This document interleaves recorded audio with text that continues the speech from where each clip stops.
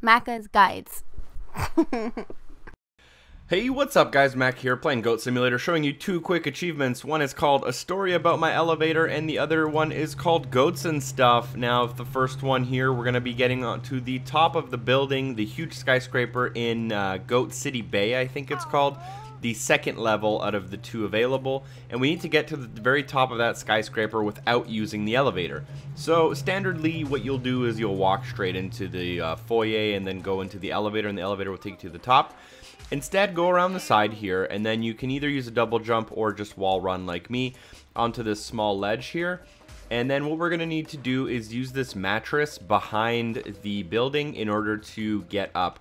Now, I recommend using Ragdoll as I think you get more distance, or more height rather, um, but I'm not 100% sure. Um, so just keep bouncing, and after about three or four bounces, you should have enough height. Now I kind of uh, hit my neck on the, the balcony there, so it took me an extra bounce here. But you'll see I went into Ragdoll, and as long as you go really, really high, push a little bit forward and land on the uh, very, very top of the roof. Once you land on the very top of the roof, you'll see there's a concert going on with what is deadmau5 behind the uh, concert stage.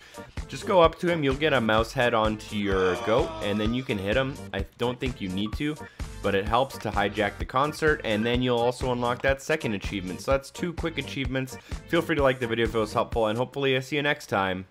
Peace.